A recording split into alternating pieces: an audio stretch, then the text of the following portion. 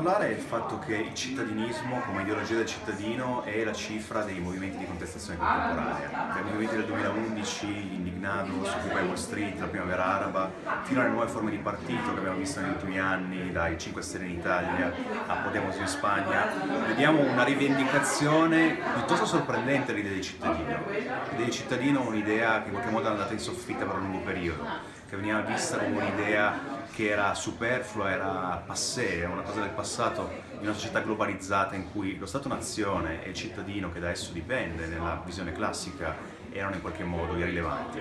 Invece in una situazione di post-democrazia, in cui la democrazia viene sempre più esautorata, in cui la cittadinanza viene sempre più esautorata, in cui c'è una grande ineguaglianza economica, ma anche una grande ineguaglianza politica, in qualche modo l'idea del cittadino viene vista come eh, un, un nucleo centrale per costruire una nuova politica, una nuova politica che deve partire dal basso, dagli individui, dai cittadini, dalle loro reti sociali, nella comunità, ma anche dalla rivendicazione di una serie di diritti pubblici e dalla rivendicazione del principio di sovranità, sovranità popolare, ovvero l'idea che i cittadini nel loro congiunto, la cittadinanza, ha il potere di decidere il proprio destino collettivo che non devono essere le elite economiche e politiche a deciderlo, non devono essere grandi cartelli economici, ma devono essere i cittadini nel loro congiunto a controllare il proprio destino. Questa è l'idea del cittadinismo.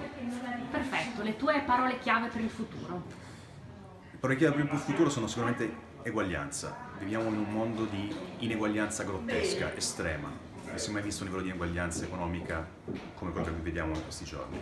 La seconda idea è l'idea di democrazia rivendicare la democrazia perché non c'è uguaglianza senza democrazia, non si può raggiungere l'eguaglianza economica se non riusciamo a ricostruire un potere collettivo, un potere dei molti contro il potere dei pochi.